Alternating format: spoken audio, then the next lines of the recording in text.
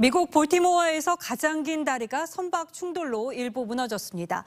다리를 지나던 차량들이 강으로 추락했는데 최소 20명이 실종된 것으로 파악됐습니다. 황정민 기자입니다.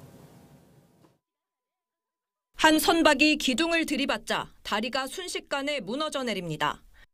오늘 새벽 1시 30분쯤 미국 메릴랜드주 볼티모어에 있는 프랜시스 스콧키 다리에 싱가포르 국적의 초대형 화물선이 충돌했습니다.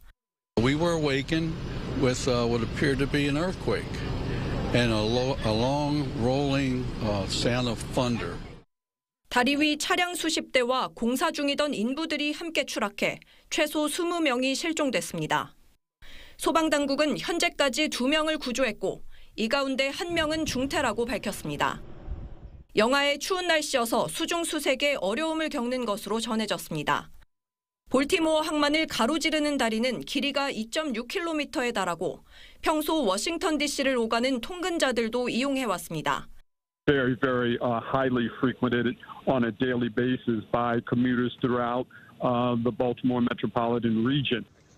사고 화물선은 스리랑카로 향하던 중이었는데 탑승자 모두 구조된 것으로 전해졌습니다. 당국은 선박 탑승자들을 대상으로 사고 원인을 조사 중입니다. TV조선 황정민입니다.